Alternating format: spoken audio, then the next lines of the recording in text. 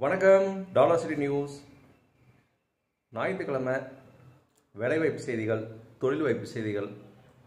இது இல்லாமல் வேறு ஏதாவது ஜென்ரலாக ஏதாவது சொல்லுங்கள் சார் சினிமா விமர்சனம் தான் சொல்லுங்கள் சார் சொல்லி காலைல ரெண்டு ஃபோன் வந்துடுச்சு அது இல்லாமல் மெசேஜ் ஒரு நாற்பது ஐம்பது மெசேஜ் வாட்ஸ்அப்பில் சார் இன்றைக்கி எதுவும் புது சினிமா போகலான்னு இருக்கோம் ஏதாவது இருக்கா அப்படின்னாங்க.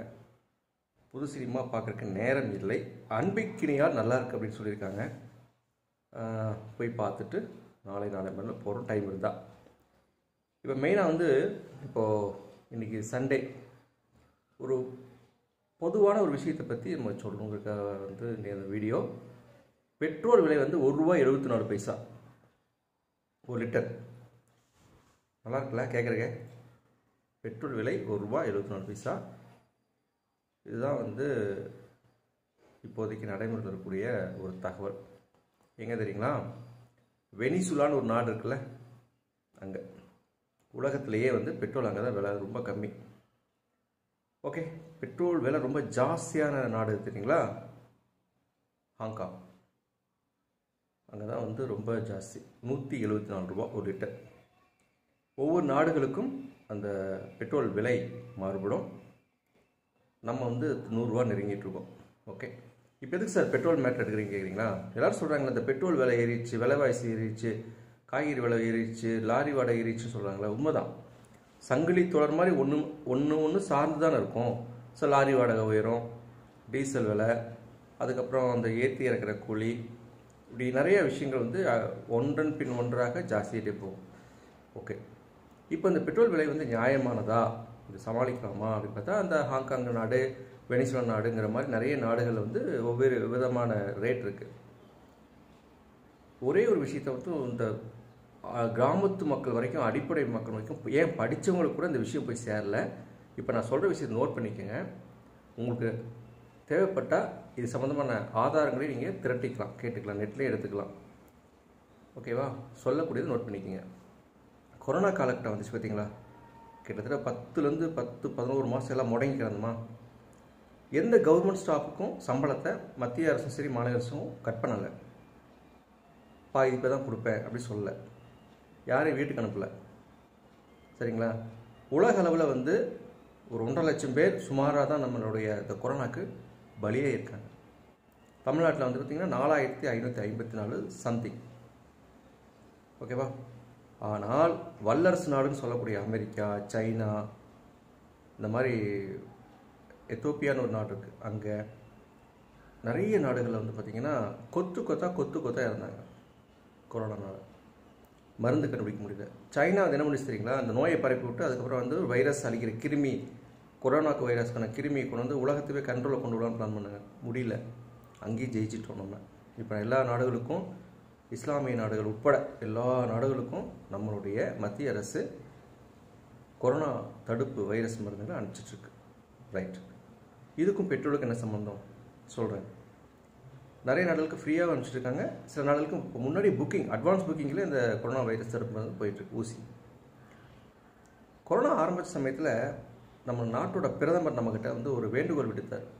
எத்தனை பேருக்கு ஞாபகம் இருக்கும்னு தெரில இந்த கொரோனா தடுப்புக்காக நிறைய நமக்கு இழப்புகள் இருக்குது பொருளாதார சரிவு இருக்குது எல்லோரும் கொஞ்சம் ஹெல்ப் பண்ணுங்கள் அப்படின்னாரு.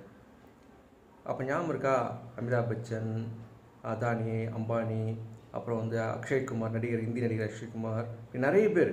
இதெல்லாம் ஒரு ஒரு ஒரு சாம்பிளுக்காக சொல்கிறேன் இந்த மாதிரி நிறைய தொழில்துறை நிறுவனங்கள் சில பெரிய பெரிய மனிதர்கள் விஐபின்னு சொல்லுவாங்க இல்லையா அவங்கெல்லாம் வந்து பணம் கொடுத்தாங்க. ஐம்பது கோடி ரெண்டு கோடி. டாட்டாலாம் பார்த்தீங்கன்னா எவ்வளோ கோடி கொடுத்தாங்க உங்களுக்கு தெரியும். ஞாபகம் இருக்குங்களா? அந்த சமயத்தில் பொதுமக்கள்கிட்ட கேட்டாங்க. மத்திய அரசு மோடி சார் என்ன சொன்னார்னா நம்ம பிரதமர் மோடி பொதுமக்களும் ஹெல்ப் பண்ணுங்கன்னாங்க. சில பெரிய நிறுவனங்கள்லாம் ஹெல்ப் பண்ணாங்க. நல்லா இருந்துச்சு பிரச்சனை இல்லை. இந்த பொதுமக்கள் இருந்து வந்த அமௌண்ட் எழுதுறீங்களா நூறு கோடி கூட தாண்டலை.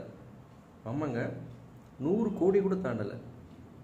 கொரோனாவுக்கு நம்ம என்ன பண்ணியிருக்கோம் ஒன்றும் பண்ணல. ரைட் இதுக்கும் பெட்ரோலுக்கு என்ன சம்மந்தம் கேட்குறீங்களா சொல்கிறேன் அந்த சமயத்தில் பார்த்தீங்கன்னா யாருக்கும் வேலை வாய்ப்பு இல்லை. நிறைய பேர்த்துக்கு வந்து தொழில் வாய்ப்பு இல்லாமல் இருந்தாங்க வேலை வாய்ப்பு இல்லாமல் இருந்தாங்க. கரெக்டாக அந்தந்த மானியங்கள் அந்த அந்த அவங்களுடைய விவசாயிகளுக்கு கொடுக்க வேண்டிய விஷயங்கள் அதே மாதிரி வந்து கவர்மெண்ட் சார்பாக நமக்கு வரக்கூடிய உணவுப் பொருள் எதுவுமே தடப்படலை. கரெக்டாக போயிட்டு இருந்துச்சு. அதுக்கப்புறம் பொங்கல் சமயத்தில் கூட தமிழக அரசு வந்து ரெண்டாயிரத்தி ஐநூறுரூவா கொடுத்துச்சு எல்லாத்துக்கும். ஞாபகம் இருக்கா? ஃபஸ்ட்டு ஒரு ஆயிரரூவா போட்டிருந்தாங்க. ஞாபகம் இருக்கா? ரைட் இது எல்லாமே மத்திய மாநில அரசுடைய கஜானந்து தான் வந்துச்சு. நம்ம எதுவுமே சப்போர்ட் பண்ணலை. பொதுமக்கள் சொல்கிறேன் கையிலேருந்து எதுவும் கொடுக்கல. பெரிய பெரிய நிறுவனங்கள் கொடுத்தாங்க. பொதுமக்களால் கொடுக்க முடியலன்னு சில பேர் சொல்லுவாங்க. ஒரு நூறுரூவா கூட ஒருத்தர் கொடுக்கல. ஒரு நூறுரூபா பத்து ரூபா அப்படி கூட நம்ம கொடுக்கக்கூடாது ஆனால் பொதுமக்கள் பொதுவாக கொடுத்த அமௌண்ட் வந்து நூறு கோடியை தாண்டலை. சரிங்களா? ரைட் அந்த சமயத்தில் தான் பெட்ரோல் வந்து இறக்குமதி பண்ண முடியல. உலக நாடுலேருந்து ஏன்னா இப்போ கப்பல் கிடையாது. விமானம் கிடையாது. ரயில் கிடையாது. எல்லா பக்கமும் லாக் ஸ்தம்பிச்சு போயிடுச்சு.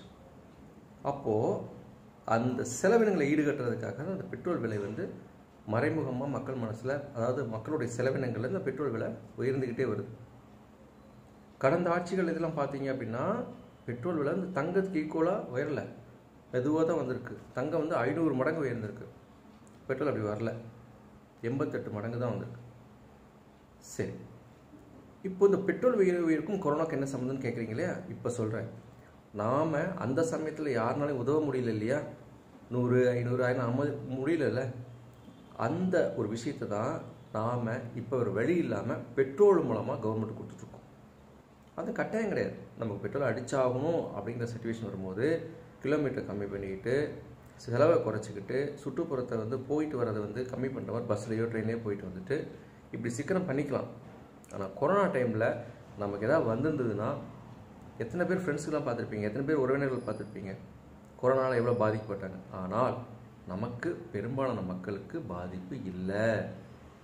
எக்கனாமிக்கில் எல்லாமே கொஞ்சம் பாதித்தாங்க அதுலேருந்து மீண்டு வந்துட்டாங்க. இப்போ கவனிச்சு பாருங்கள் உலக நாடுகளில் வந்து அதிகமாக ரெக்கவரி ஆகிட்டு வர்றது வந்து இந்தியா தான். சரிங்களா? ஸோ இப்போ நம்ம செய்கிறது அன்னைக்கு செய்ய முடியாத விஷயத்தை பெட்ரோல் மூலமாக நம்ம எடுத்துகிட்ருக்கோம் அந்த முந்தைய ஆட்சி காலத்தில் பெட்ரோல் விலை கம்மி இந்த ஆட்சி ஜாஸ்தி அப்படிங்கிறீங்களே இன்னொரு விதியும் சொல்கிறேன் அந்த முந்தைய ஆட்சியில் பார்த்தீங்கன்னா நீங்கள் வந்து ஒரு ரீசார்ஜ் பண்ணி பேசணும். இரநூத்தம்பது ரூபாய் ரீசார்ஜ் பண்ணி பேசுனீங்கன்னா நீங்கள் பத்து நாள்லையும் பேசலாம் ஒரு மாதத்துலையும் பேசலாம் ஒரு நாள்லையும் பேசலாம் ப ஒரு இருபது நாள்லையும் பேசலாம். இன்றைக்கி அப்படி இல்லைல்ல? மொபைல் ஃப்ரீயாக தானே பேசிகிட்டு இருக்கீங்க? கொஞ்சிங்களா அப்போ அதில் கம்மியாகுதுல்ல? ஏதோ ஒரு வகையில் நமக்கு மத்திய அரசு ஹெல்ப் பண்ணிகிட்டே இருக்குது அதனால் பெட்ரோல் விலை உயர்வு அப்படிங்கிறது வந்து நாம் இந்த கொரோனா சமயத்தில் செய்யக்கூடிய நாட்டுக்கு செய்யக்கூடிய ஒரு சின்ன பங்களிப்பு மட்டும் மைண்டில் வச்சுக்கோங்க. இது மத்திய அரசுக்கு ஆதரவாகவோ மாநில அரசுக்கு ஆதரவோ இது பிரச்சாரம் கிடையாதுங்க. உங்களோட அப்பா அம்மா தாத்தா அப்படி கேட்டு பாருங்க. உலகப்போர் வந்த சமயத்தில் எல்லா பொதுமக்களும் கையில் இருக்கிற நகை பணம் எல்லாமே கொடுத்து நாட்டுக்காக வந்து அந்த கவர்மெண்ட்டை போய் கையேந்துச்சு. போர் நடக்குது நாட்டுக்காக ஹெல்ப் பண்ணுங்க ராணுவத்துக்கு செலவுக்கு வேணும் கேட்டு கையேந்துச்சு. எல்லாரும் கொடுத்தாங்க. விசாரிச்சு பாருங்க. உங்களுடைய வீட்டில் இருக்கிற மூத்தவங்க கிட்ட முன்னோர்கிட்ட இல்லை வரலாறு எடுத்து படிச்சு பாருங்க. அதனால நீங்கள் இந்த பெட்ரோல் விலை உயர்வை பெருசாக எடுத்துக்காதீங்க. சிரமம்தான். இல்லைன்னு சொல்லலை. ஆனால் நாட்டுக்காக நம்ம செய்யக்கூடிய இந்த கொரோனா காலகட்டத்தில் அதுவும் உலகப்போர் மாதிரி தானே எத்தனை பேர்த்த உயிர் பலி வாங்கியிருக்கு? எத்தனை பேர் சிரமப்பட்டு இருக்காங்க? மற்ற நாடுகளில். நம்மளுக்கு பாருங்க டக்கு டக்கு டக்குன்னு ரெக்கவரி ஆகிட்டோம் இப்போ ரெண்டாவதில் வந்துட்டு இருக்குங்கிறாங்க. கொஞ்சம் சேஃப்டியாக இருங்க. முகமூடி அந்த முகக்கோசம் போட்டு போங்க. சானிடைஸ் பண்ணிக்கோங்க. கூட்டமாக இருக்கிற இடத்துல மேக்ஸிமம் அவாய்ட் பண்ணுங்கள் ஓகேவா ஸோ பெட்ரோல் விலை உயர்வுக்கு காரணம் உலக அளவில் ஏற்பட்ட பாதிப்பு தான் அதை பேர் பண்ணுறதுக்காக நம்மளால் இந்த நாட்டுக்கு செய்யக்கூடிய ஒரு இதுதான். இது ரொம்ப அதிகமாக போகாது. நிறைய மெல்ல மெல்ல இதாக கம்மியாகும். ஏன்னா எல்லா நாடுகளும் இப்போ பெட்ரோல் கொடுக்க ஆரம்பிச்சிட்டாங்க. இறக்குமதி ஆகுது. நம்ம நாட்டிலையும் கொஞ்சம் எடுத்து உற்பத்தி செய்ய ஆரம்பிச்சிட்டாங்க. ஏன்னா நம்ம இருக்குது தங்கம் மட்டும்தான் முடியல. ஏன்னா இறக்குமதி பண்ணுறோம். பெட்ரோல் நம்ம நாட்டில் பண்ணுறோம் ஓகேவா அதனால் இது நாட்டுக்காக செய்யக்கூடிய ஒரு சின்ன கடமை அப்படின்னு நினைங்க. விவரம் தெரியாதவங்க ஏதோ பேசுகிறாங்க பெட்ரோல் விலைச்சி மத்திய அரசு இல்லை மாநில அரசு. விலையேற்றத்தை என்றைக்குமே தடுக்க முடியாதுங்க. இது நிதர்சனமான உண்மை. என்ன? நூறுரூவாங்கிறது நூற்றம்பது ரூபான்னு போகாமல் நூற்றி அஞ்சு ரூபா நூற்றி பத்து ரூபா இப்படி ஏறலாம். அது நியாயம். ஆனால் விலையேற்றத்தை எந்த காலத்துலையும் நீங்கள் தடுக்க முடியாது. அதனால் இந்த பெட்ரோல் விலை உயர்வு அப்படிங்கிறத கொஞ்சம் யோசித்து உங்களுக்கு தெரிஞ்சவங்ககிட்ட எக்ஸ்பிளைன் பண்ணுங்கள் இது நீங்கள் எந்த கட்சி எந்த ஜாதி எந்த மதம் அதெல்லாம் முக்கியம் இல்லை. இந்தியர்கள் நம்மெல்லாம். ஞாபகம் வச்சுக்கோங்க. இந்திய நாட்டுக்கு நாம் செய்யக்கூடிய இந்த ஒரு பிரச்சனைன்னு வரும்போது நம்ம செய்யக்கூடிய ஒரு உதவின்னு வச்சுக்கோங்க. சரிங்களா? இதுதான் இது. வெனிசுலா நாட்டில் தான் உலகளவில் இன்றைக்கும் ஒரு ரூபா எழுபத்தி நாலு பைசா விற்கிது ஒரு லிட்டர். ஹாங்காங்கில் அதிகமாக ஒரு ஒரு நூற்றி ஒரு லிட்டர் வந்து நூற்றி எழுபத்தி நாலு ரூபா இந்தியாவில் நூறுரூவா ஆனால் நம்ம ஒவ்வொரு நாடுலையும் ஒரு பட்டியல் இருக்குது சரிங்களா? இது ஒரு தகவல் தான். ஸோ நம்ம வந்து யாரையும் காழ்ப்புணர்ச்சியோட சொல்ல வேண்டாம். யார் கையிலையும் இது இல்லை. நாளைக்கு நீங்களே சிஎம் உட்காந்தாலும் நீங்களே பிஎம் உட்காந்தாலும் தடுமாறுவீங்க இந்த கட்சி அந்த கட்சிக்காக நான் பேசலை. பொதுவாக சொல்கிறேன் சரிங்களா? மற்றபடி வேலைவாய்ப்பு செய்திகள் தொழில்வாய்ப்பு செய்திகள்லாம் தொடர்ந்து வந்துட்டுருக்கு. அடுத்தடுத்த வீடியோவில் போடுறோம் பாருங்கள் இப்போ நிறைய ஆப்பர்ச்சுனிட்டி வந்துட்டுருக்குங்க. ரெடியாக இருங்க. வேலை ஃபோன் நம்பர் போட்டோன்னா டக்கு டக்குன்னு ஃபில் ஆயிடுது அதனால் சீக்கிரம் வந்து ஜாயின் பண்ணிக்கோங்க. இதான் இன்றைய தகவல். புதுப்படம் பார்த்துட்டு உங்களுக்கு நாங்கள் வந்து விமர்சனம் சொல்கிறோம் சரிங்களா? இப்போ கமெண்ட்ஸ்லாம் சொல்லுங்கள் கமெண்ட்ஸில் போட்டு விடுங்க. புதுசாக வருங்க சப்ஸ்கிரைப் பண்ணுங்கள் பெல் பட்டனை கிளிக் பண்ணுங்கள் சரிங்களா? வாருங்கள் இணைந்து கொள்வோம். நன்றி. டாலா சிட்டி நியூஸ். தேங்க்யூ